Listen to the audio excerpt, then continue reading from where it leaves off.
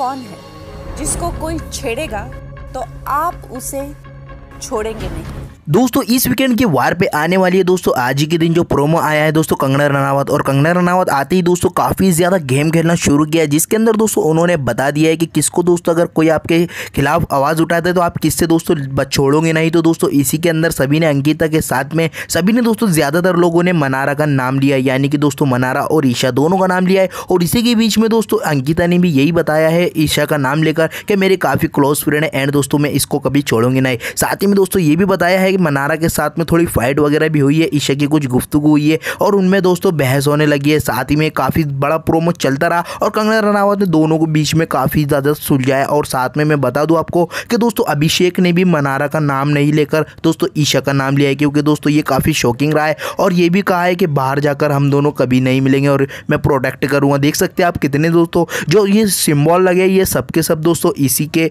Event के मारे। तो आपको क्या लगता है दोस्तों कि इस बार कौन जाएगा बाहर इस हफ़्ते? आप ज़रूर बताएँ कमेंट बॉक्स के अंदर।